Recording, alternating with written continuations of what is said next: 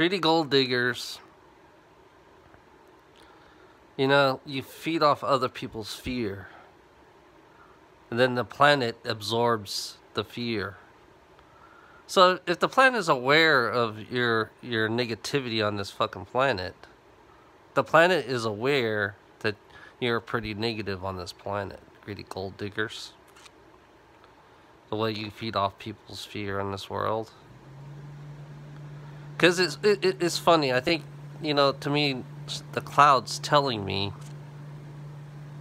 you know, it's showing me, the clouds are showing me the negativity. The one thing I found this cl one cloud is showing me the rituals on this planet. You know, showing me the rituals. So it was showing me a, a human body being all sliced up, sliced and diced. Only thing left was was the guy's head, and then this reptilian comes up to the guy's head and tears his head off. Right, and, and he was showing it in front of me. I mean, the reptilian was it was showing it right in front of me in the clouds because that's the best communication, you know.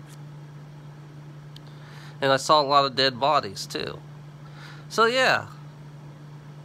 I mean, the negativity needs to stop.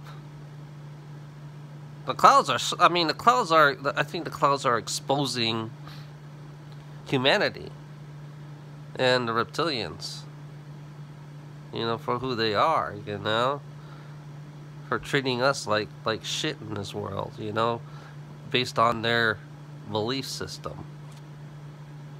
So yeah, reading gold diggers don't don't understand. They're helping the negative reptilians. You know, they're helping the negative reptilians. Reading gold digger doesn't do not understand that in this world.